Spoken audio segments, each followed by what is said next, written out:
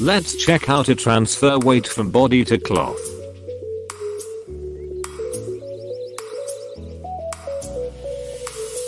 Select cloth, clear all vertex group, and make sure there is no modifier.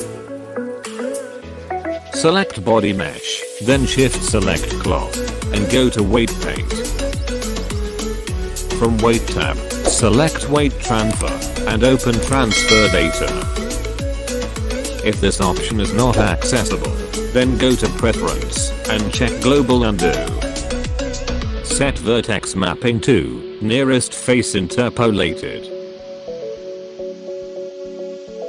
Radius to 5 and source layers selection to by name.